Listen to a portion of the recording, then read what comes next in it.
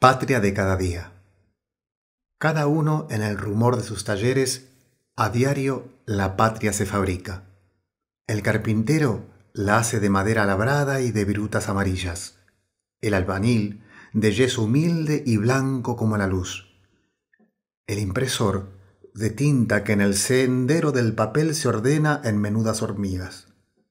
De pan y de sudor oscuro, el grave campesino de fría plata húmeda y relente el pescador, el leñador de astillas con forestal aroma cercenada, de hondas plumas sombrías el minero, de indómitas verdades y hermosuras el artista.